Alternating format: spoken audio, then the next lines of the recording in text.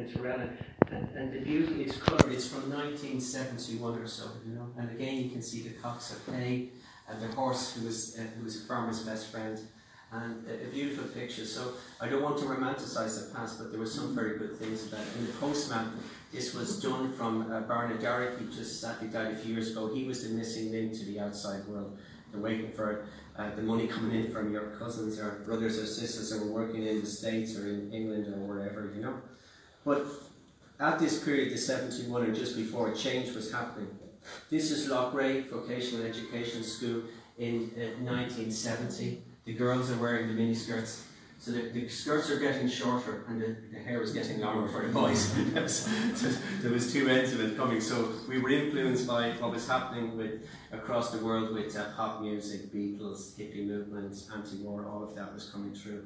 This was the uh, uh, we were getting starting to get phones in, in, in houses. In my area, we were the only one for a while that had a phone, and people wanted to make phone calls. They'd come and you go to the local pub if you're expecting a call at six o'clock from the cousin from New York or whatever. But this was the telephone exchange in in um, in Ballinasloe. And again, you can see the long hair, and the short skirts, and so on. So change was happening but it really took, Galway was really transformed, and modern Galway, in my opinion, started in 1971 with the arrival of Digital Equipment Corporation, as I say, the second largest computer manufacturer in the world after IBM. And they came to Galway, there's lots of different stories, but um, they came to what was really a backwater at the time. Galway was outside the, uh, the uh, on the on the sideshow. Dublin, Cork, and Limerick were, and Belfast, of course, were very much at the more in touch with what was happening across the rest of the world than ourselves. There was a lot more heavy industry. Galway was very low level at the time. The great 19th century of the mills and the breweries had long had long passed, and they opened up originally in Mervue, um, where uh, Avaya are today, or in that role anyway. And they moved uh, two years later into, this is Ballybrit. And you can see what it was, just a series of fields itself.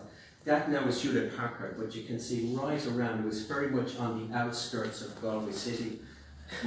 With the traffic now, it's so different.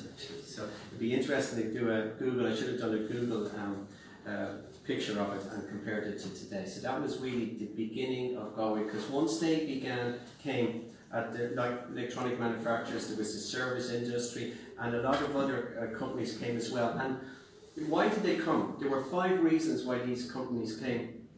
Uh, this was the first overseas operation for Digital Equipment Corporation.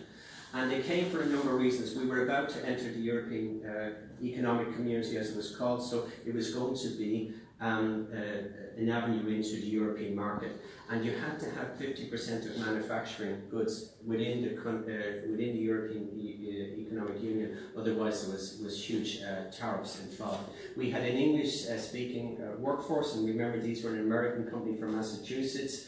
Uh, we had a, a very well-educated uh, workforce itself, and there was the tax, which is still a controversial issue today. But the fifth one was a lot of the management that came over from the Americans with uh, digital and other companies were Irish Americans. Some of them had left in the bad days, obviously with high immigration, and they were coming back um, themselves.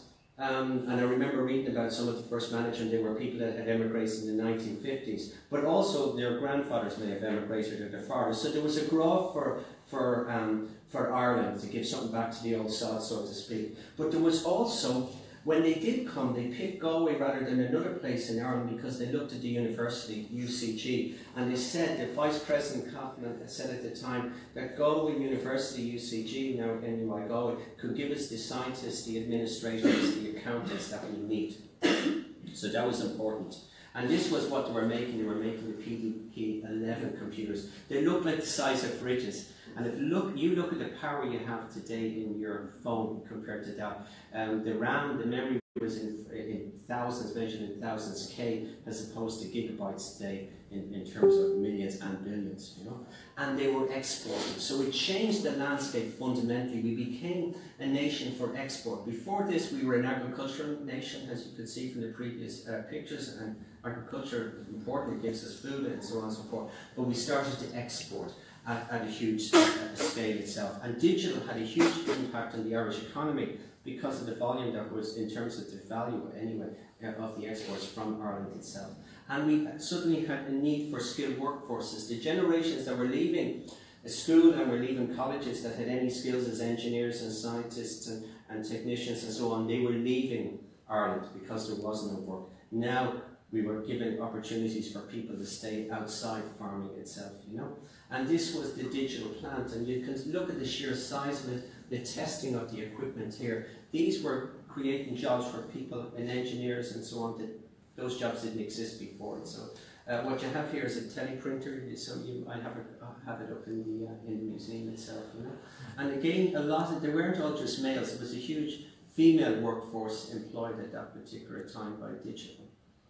And they were so much unlike a lot of the companies that we had in Ireland was good salaries. You were paid proper wages uh, compared to what was there uh, uh, before. It was a clean working environment. Like for anybody that worked in the factories of that era, they could be dirty and grimy with very little facilities, maybe a kettle for to make your own tea. But here you had proper canteen facilities, you had voluntary health insurance, a social club so there was a whole social, there was this kind of an American ethos that they were coming in with, that it wasn't just um, a nine to five job. We'd like to keep the, uh, the workforce together as a family, as a community, and do activities not just for the workers themselves, but also for the uh, family uh, events. And, and some of these were unionised, some of them weren't. There was activities, social activities like the tops of town, and they had things like company newsletters, you know. And as time went on, you had this as a big a, a, a, nearly open office, again a clean work environment. This wasn't one of the original setups, but this happened a few years later, you know. And they had open days. The, the factories has existed then, they were closed, they didn't want the public ever coming in out, as I said, it was men and women. It was involved in the in the seventies uh, and mid seventies, and there was a phone call from a local principal of a local convent school in Galway, and she said she'd like to bring her leaving certificate class up to have a look at the premises and so on because she heard they were doing school tours. And so she brought them up and they, they gave them the full show, the clean work environment, that here was computers and this is what a computer does and this is where the future is and look at what the pay is here and so on. And then at the end of about a, a two hour tour, she gathered all the girls in the foyer and says, now girls, gather around me. What have you learned from today's trip? And they said, um, you know, computers are the future, technology is here to stay, and, so, and they were all giving answers, and she says, no, you are all wrong. What you should have learned from today's trip was unless you get a good leaving cert, you could end up working in a factory like this, you know. So nursing, teaching, civil service was fine, but bloody factory, no way, not for girls, you know. So again, not everybody was, was reading from the same book, so to speak, you know.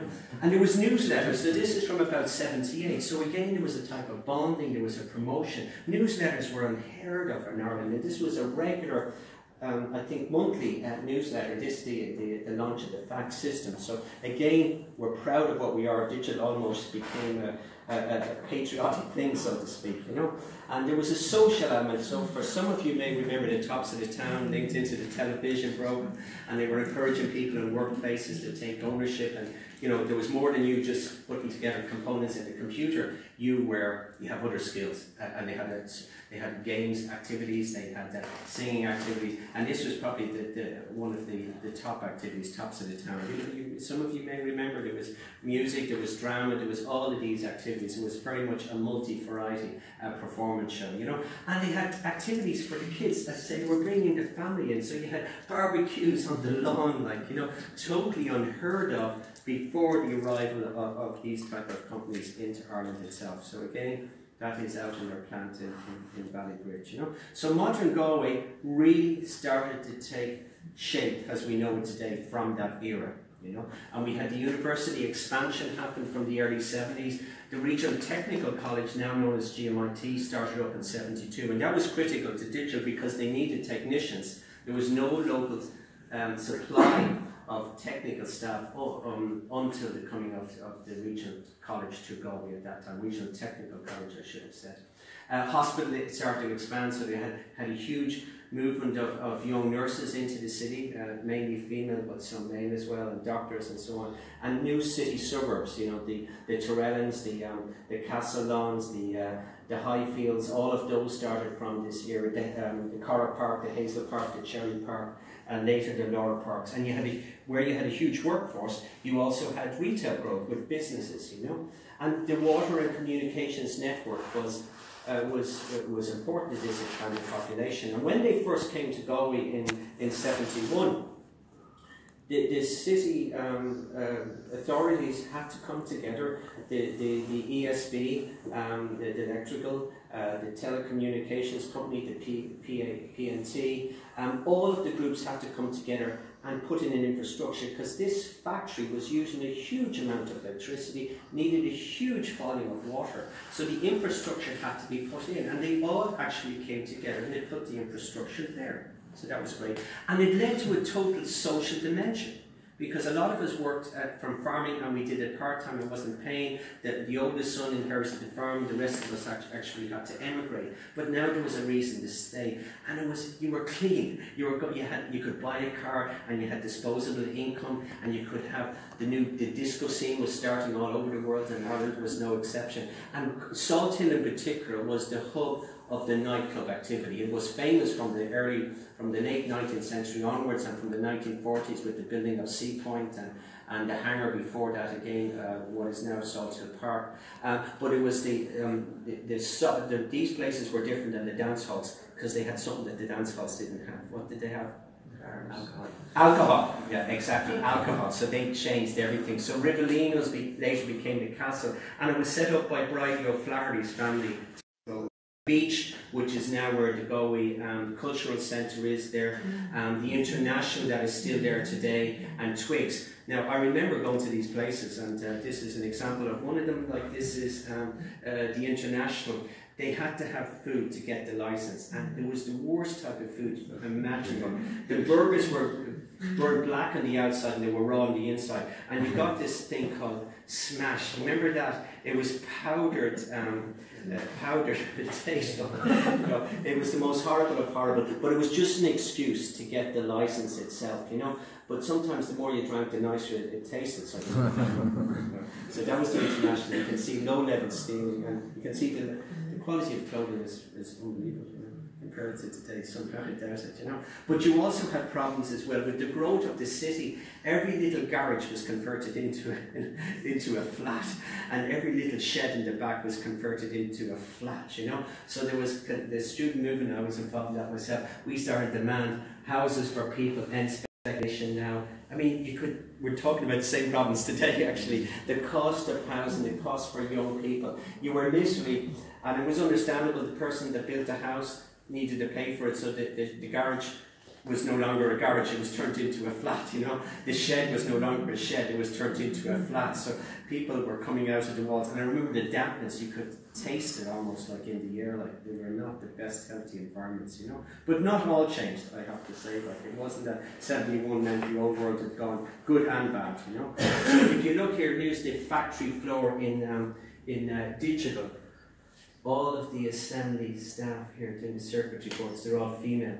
It's a male, you know. So again, when it started off early, there was this. It was almost like a textile factory today in the developing world, you know. Um, again, the separation between male and female was quite extraordinary in the early days. And this is an example of what it was like. This is from the Connacht Telegraph newspaper, and this is from the uh, about 72 or so, and it says, Digital, are you leaving school this year? Um, it's saying to people, this is, then you're coming. If your home is in the west of Ireland, why leave the rest? In other words, don't emigrate, you know. Invest in your future by staying in Ireland and particularly the west. So the interesting thing for males now, you could start a career, because it was only males in technical at the time, computer technician. Candidates should have a good leaving cert and fair for electronics. If selected, we will train you and receive attractive pay and, and so on, and we've opened for 50 people at a time. It, starting up, they had 200 in no time at all. That, that's the males. Now, it's okay. For women, we have vacancies. You have to be a young ladies. So middle-aged women, forget about it. You know, older women, forget about it. So we have you, you can be trained in uh, component assembly line work. You know, so again there was a demarcation about what was available for women and what was available for men, and men generalising. You know, and and you ran Galway two zero one two actually. You know, and it wasn't just once digital came the manufacturing companies started to come at an increasing level, not just into Galway but into Ireland. And we had companies like Thermo King that are still with us today. We had Crown Control that are no longer with us today. And we have Northern Telecom that became Nortel. They were bought out by Avaya. And they used to make the telephones. So this phone here is an example and it's made by Northern Telecom, a Canadian multinational, but they were making these apparati in Galway. And Kieran O'Connor, there was a friend of mine at college, he was in charge of the last um, production line for those back in the 19 um, in the 1980s itself. So those phones were very much the mainstay of the home. But they improved immensely. This is one from the early 1980s. And not only did it, was it a phone, but it also was a terminal for your computer. You know, so we had video phones back in the 1980s, and it's on display up in the actual computer museum itself. You know, and then we had the brick, you know. And a, young, a yuppie in the 1980s, some of you remember what it was, a young, awkwardly mobile person. If you had one of these, you had to be exceptionally loud so everybody knew that you were, you know, it was a status symbol, whether you were on a train or going down the street. And it was known as a brick for obvious reasons. So you can pass that around there, actually. If it rings, pass it back. And computer stores from the late 70s, we suddenly started to sell computers. Why did that happen? Because the Intel chip was developed in 1971, the processor. So what took up a room before could be put onto basically a palm of your hand, which it was. The original Intel processor chip, and they have an operation now in Ireland, of course, in Kildare. It was the um, calculator, sorry, not the, yeah, the calculator. We used the calculators, and they were first used in the Leaving Cert in my year back in, in, in 75. But suddenly out of not just the calculators, we started to make consoles, computer game units. Uh, Atari was the first company that really popularized the use of, of, of, of uh, uh, domestic, something you could put into the home. They originally developed the big game machines, the arcade games that used to fill up Seapoint and other places. And this device was the, uh, the console. The console is a computer um, uh, game machine, but usually just plays on the cartridge or whatever that you just slipped in here. That turned the television into something you just watch, into interaction. Before that, you were passive. You watched the television, you never in interacted with it. So when you So as I say, with that came a laser printer, and that it took printing away from the big uh, factory operation. The big print started to bring out political, um, literature, community newsletters. So this is from 1987. Um, I was involved in the Tyrone Residents Association at the time, and soon I was starting to print loads of newsletters for the local community. So we really took ownership of this. So again, it looked kind of primitive now. This was um, PageMaker was the first um, desktop uh, uh, software with the laser printer and the computer. Now they were expensive. I think it was about six and a half thousand, but they gradually came down in price. You know, uh, after that. You know, and then we had the Computer Society. that started, if I'm correct, Colin, in 1980, and this was you guys. 77, 78. Oh, and, oh, you started that early, yes, because uh, Gus taught you started in 1980, you know? Uh, well, maybe a year or two earlier. Yeah, okay. And then this is you at the exhibitions, the Student Society exhibition of 1980 in a concourse in September. Russell and Gus, yeah. Kevin Conley like himself. And there's the Commodore PET. And look at, tell them how you did that. Uh, um, dot matrix. Um, look at of. Dot matrix. Yeah, and you join them all together, the sheets? There was a room where you could send your batch print jobs downstairs with a huge printer. Yeah, and that, that's huge. And what is it advertising? Star Trek again, you know? So, and there's young Colin, the man that you see here sitting, that's him there, in, uh, and he hasn't changed as you can see, September 1980. And you guys were digital makers. Uh, I mean, they were the assembly computers, but you used to get them in kit form and used to yeah. put them together, you know? So we think digital making is a new concept among young people. It's been around since Colin was a young lad. And this is Dermot here on my left. And Dermot, he, again, he, you've lost a little bit of weight there, Dermot, actually, you're not exactly the same. Dermot, you were up at the uh, RDS as a young scientist. You, you made probably Go's first homemade robot. Mm, I think so, yeah. Yeah. and what did you make it? What did you run it off? Um, I rented off a Commodore VIC 20. Yeah. Uh, yeah. And we have the VIC 20 that he originally Hmm. used. His father gave it to me many years ago from Castle right. Ellen, you know, right. and we still have the original. And just tell him how you put that computer together and how it worked and what it did.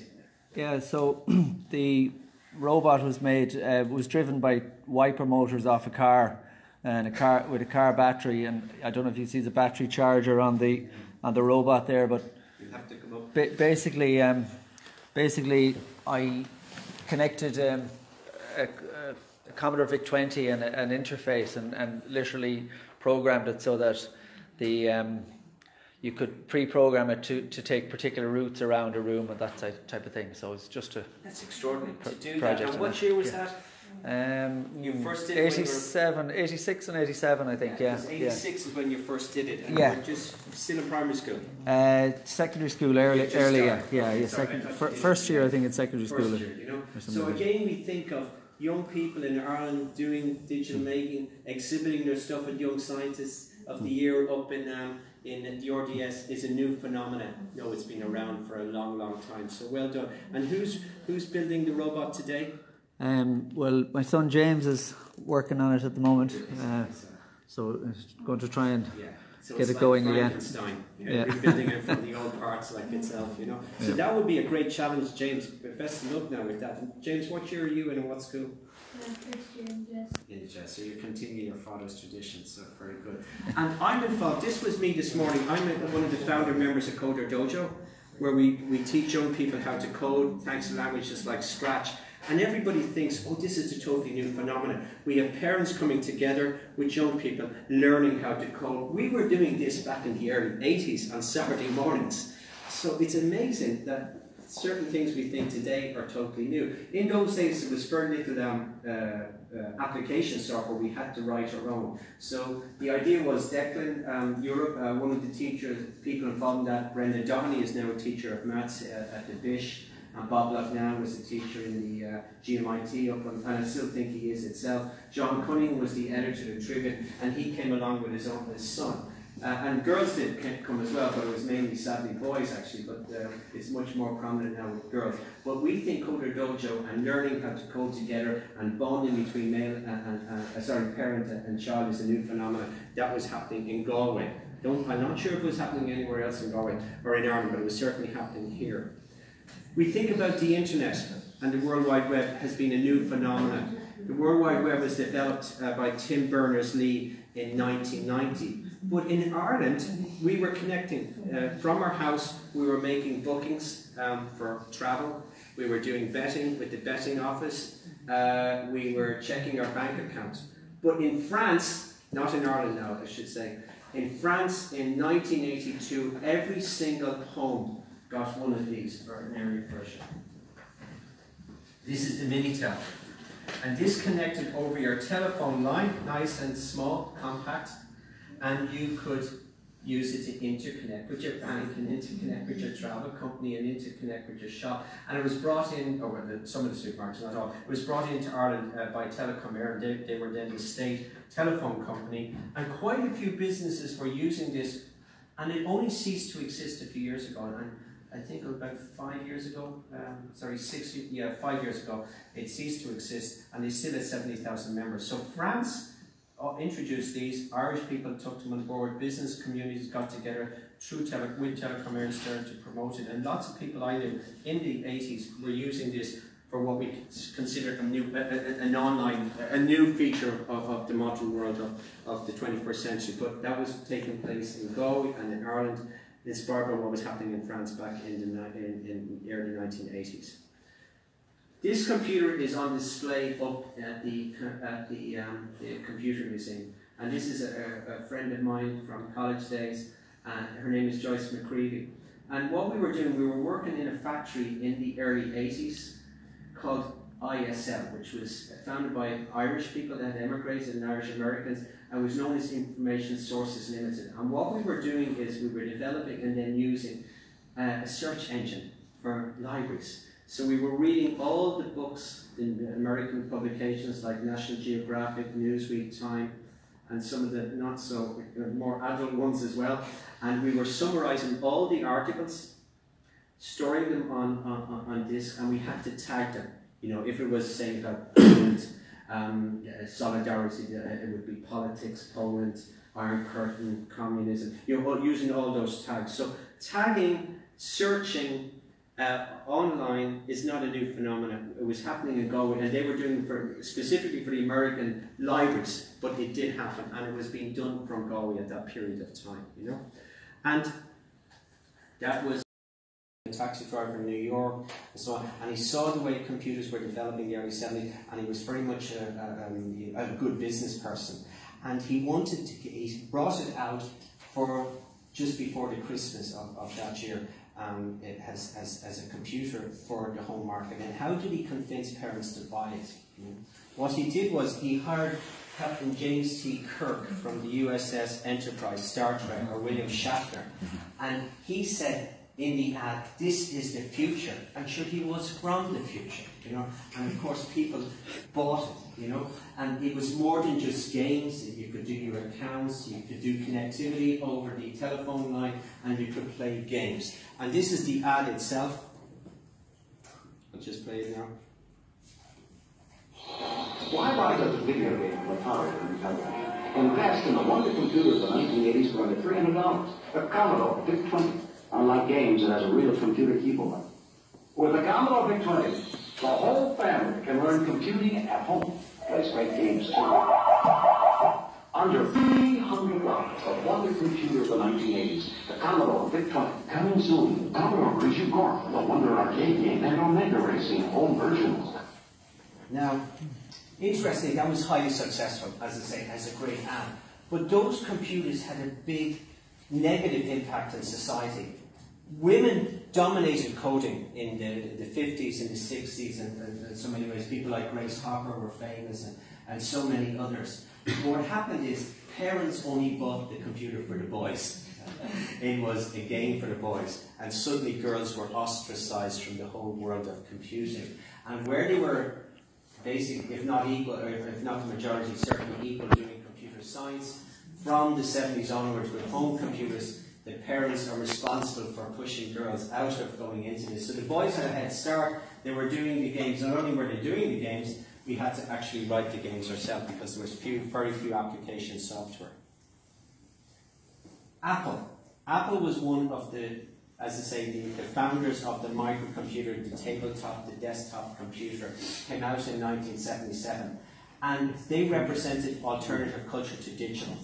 They represented youth as um, off the wall type of thing. Um, Sannyism, call it what you may. And their logo represented that. It was the byte, of course, from, from, uh, from the world of, of computing, but also it was colour. It was a fruit. It was environmentalism, hippieism, all of that kind of West Coast America period at the time. And when you bought a computer, you weren't from Apple, you weren't just buying a computer, you also bought, it was a generation thing. You got all these little carry bags with it. You could get the little extras like the cases, you know. You got stickers that you put onto your car or onto your little um, holders for uh, cassettes. So again, they started the whole thing of teenageism and youthfulness being associated with computers itself. And for those that were involved with them, like myself, it was awesome, you know. This is me on the far left, and I was Apple's first salesman for Ireland, Apple Salesperson of the Year back in 82. As you can see, I haven't changed.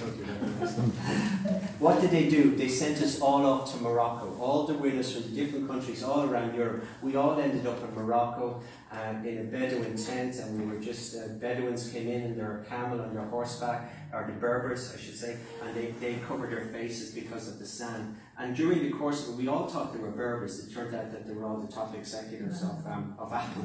they really got into the whole spirit. Now, the big companies wouldn't have done that, but Apple were new, they were trying different things out, and they still had that youthfulness about them, you know.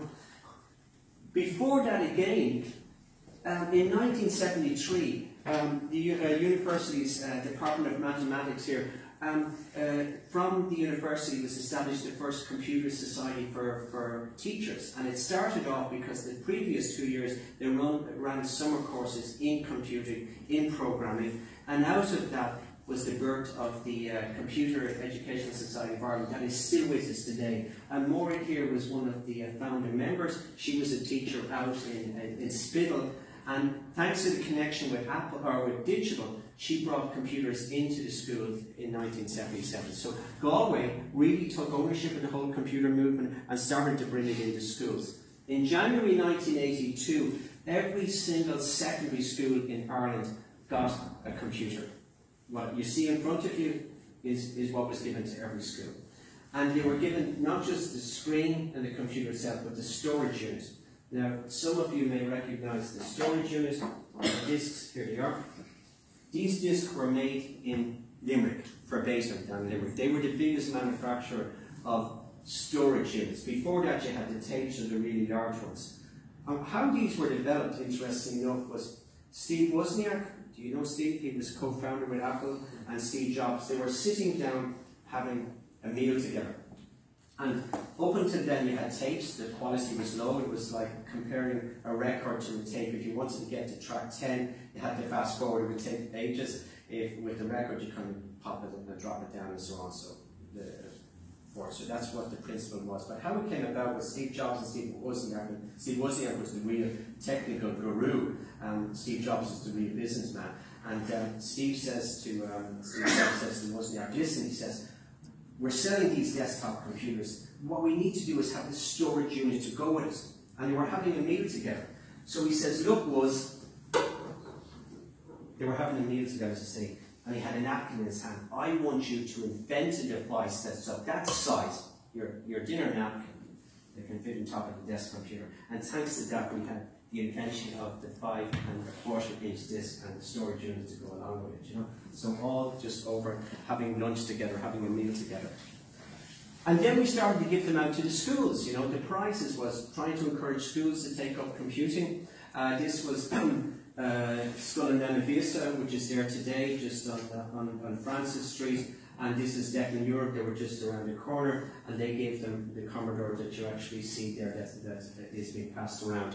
We did the first course for teachers at the university on the microcomputer, that is. We did a course for teachers in November 1981, knowing that all the schools were going to get, secondary schools were going to get from January onwards, they were all going to have an Apple II.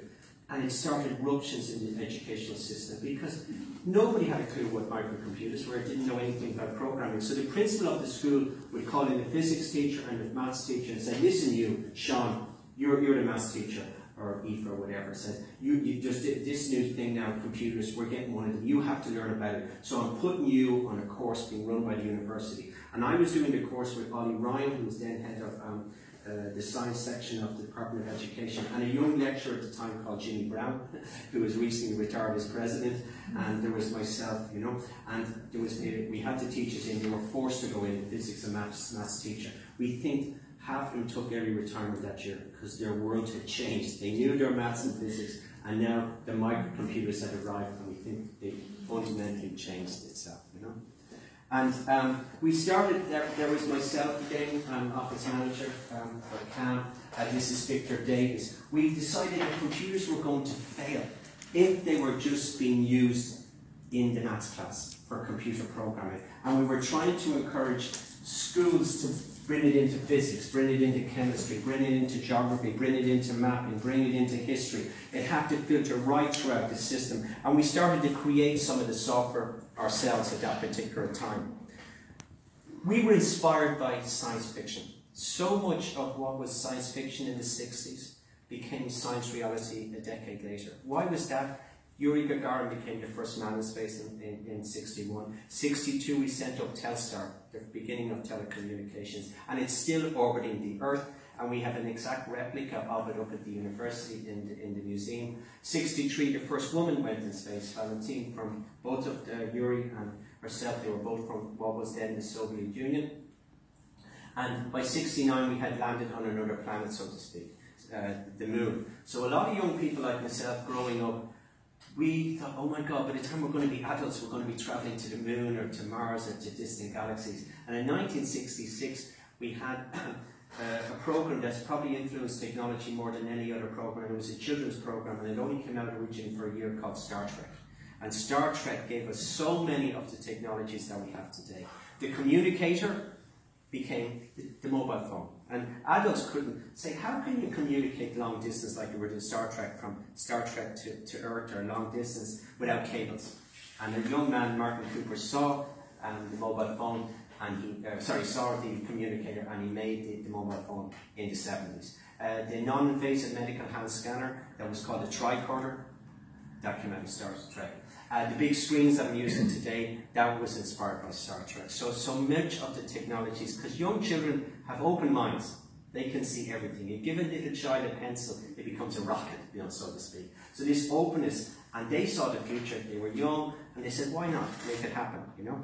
And one of the things we were selling at the time was a chess set, and I have it up at the university. It has you played it, didn't you, um, Dermot? It had so many different levels of chess. You can take it from beginners to high level.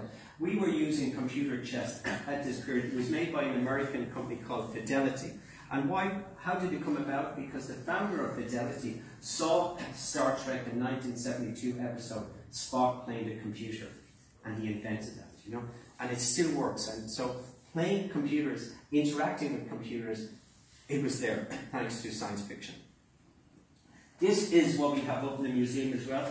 It's called Hero One, and it was a robot that was used in Galway by the then the RTC became GMIT, and it was used in the 80s as a robotics educational uh, device. So we were using robotics, and it was totally sensor based. You programmed it, it could detect sound, it could detect light, it could detect motion, and you saw it in, in Operation Dermot. And sadly, some of the parts have burnt out since. It was modelled, anybody think what it might be modelled on? No.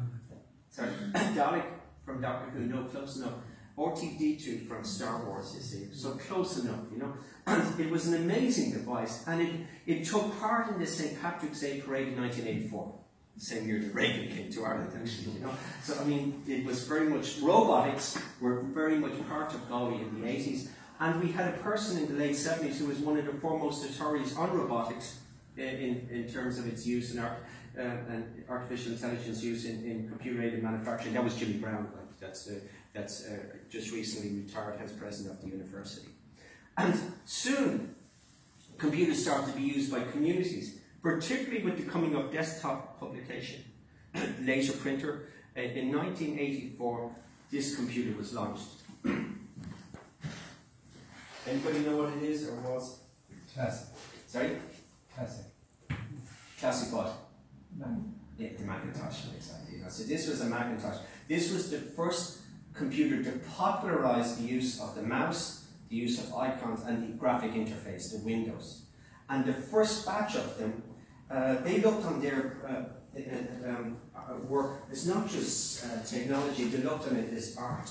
So you got the little extras there, you know. So if you look at this, it's, it's a drawing of, of, of this here with an apple, but it was inspired by Picasso.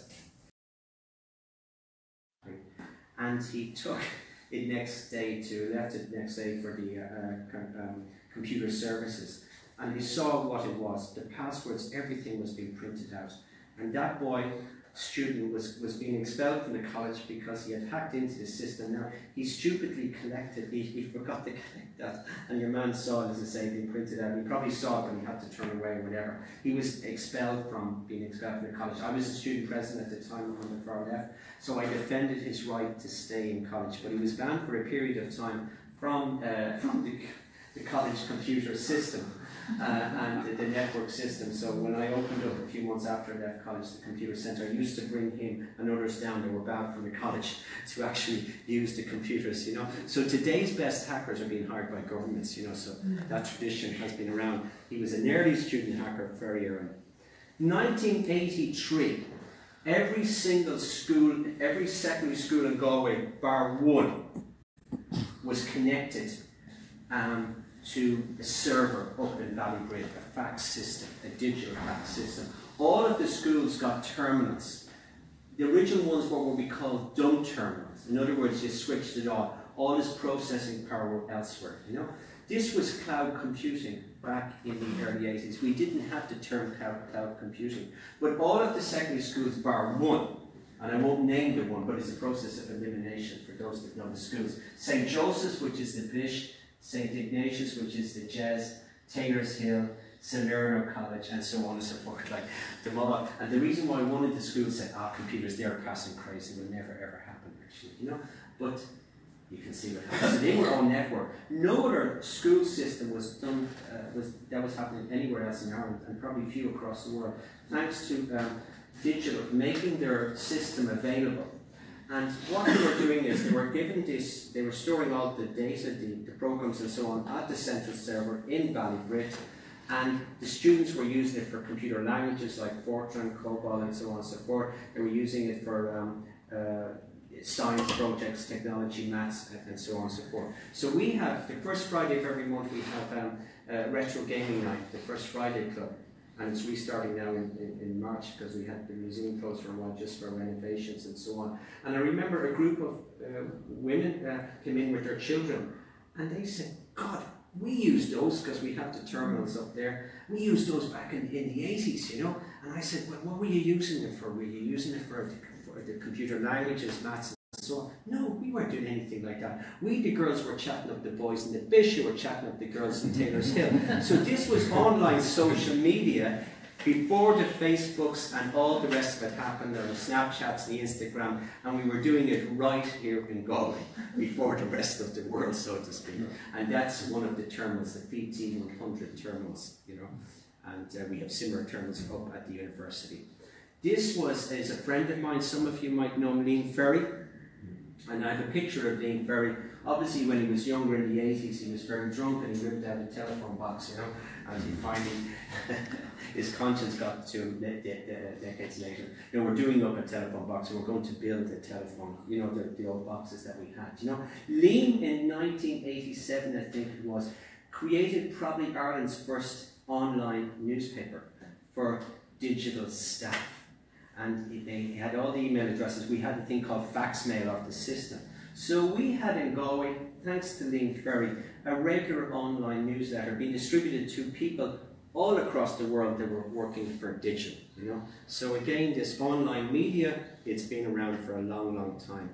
Video conferencing took place in Galway back in 1988. this was, some of you may recognize this when I tell you what it is. Remember that big disc that was on top of the Eircom building, the hmm. telecom building? This was it.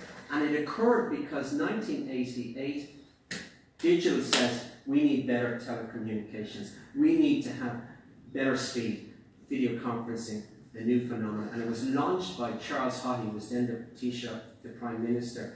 And, and there's a beautiful picture of him uh, connecting into Galway using uh, the video conferencing facility where both sides could see it. So that was video conferencing, people think is a new idea, being able to see people in different parts of the world uh, through the telecommunication system. It's been around in Galway and in Ireland since the, uh, the late 80s, you know. So in many ways, just like the film Back to the Future, uh, we're going back in time to see the future because that's what we have, all of these technologies that we have, you know. Um, we're having a launch, and myself and Thomas here from the board, we're going to have a launch. When is the launch taking place? Probably early in April? Yeah. Yeah. And what we're doing is, this is Redmond Burke, and this is his wife. Both of them worked in digital. He was uh, manufacturing these computers. He is now an artist. And he came into the museum and here it is here in its display, here it is here. And just behind it is the old VAX systems, or sorry, the PDP-11. So from his memory, from what he could see, he has now put together a huge series of art portrayals of, of technology. So it's not using technology to create art, it's been inspired by technology to use the old handpiece. So we're going to have an exhibition of those up there. On uh, I was the first time I met him when the two of them came in. Um, we talked about all the nightclubs and whole inspiration. You had disposable income, had social life. You could meet the opposite sex or the same sex or whatever socially, thanks to digital and those companies coming with proper wages and the, the cars and all the rest of it. And I said to him, it's amazing how the world has changed in some ways. I'm finishing with you at five because I have to work. This was Friday night. I work every Friday, and some Saturdays has a volunteer since 2004 in the Eglinton. You know what the Eglinton is today? Anybody?